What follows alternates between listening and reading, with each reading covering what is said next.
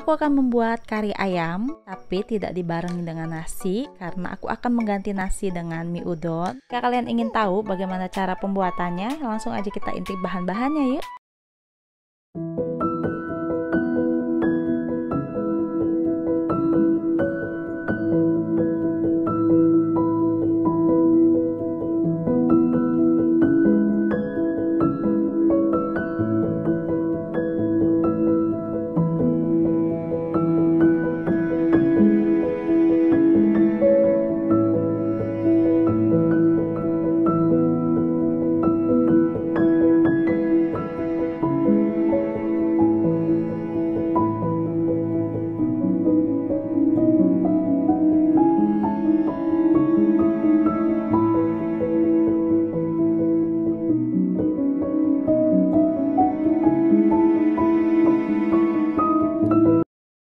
Siapkan satu bungkus mie udon ukuran 200 gram, satu sendok makan kari bubuk, satu buah kentang rebus yang sudah dipotong-potong dan beberapa potong ayam rebus dan bawang secukupnya, susu cair 500 ml, masukkan susu ke dalam panci, nyalakan api kecil,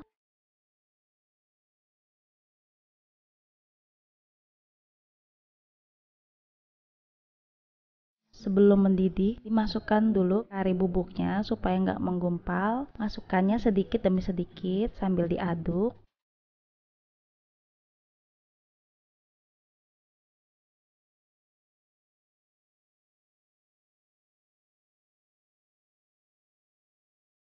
Ini diaduk-aduk aja sampai mendidih lalu masukkan udonnya.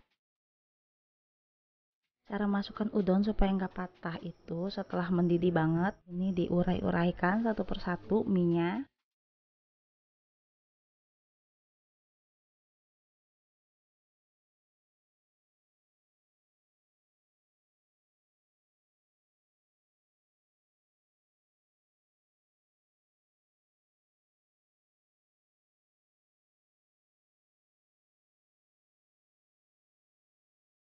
Seperti ini jadi nggak ada putus.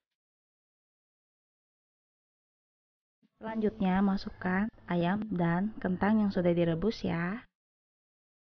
Untuk karinya kalian juga boleh pakai yang basah ya. Kebetulan aku punya yang kering dan bubuk aku sudah ada garamnya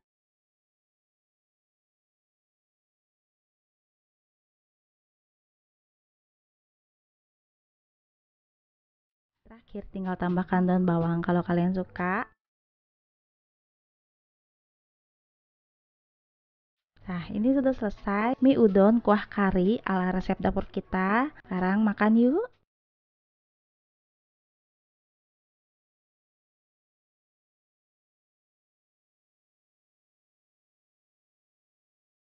Jangan lupa minumnya teh hijau. Untuk teman-teman yang sudah mencoba resep dan menu aku satu ini, kalian boleh komentar di bawah bagaimana rasanya. Apakah kalian suka dan cocok dengan resep menu aku satu ini? Dan untuk teman-teman yang mau request menu apa aja yang ingin aku masukkan ke channel aku, aku tunggu juga di kolom komentar. Sampai ketemu lagi di next video aku selanjutnya.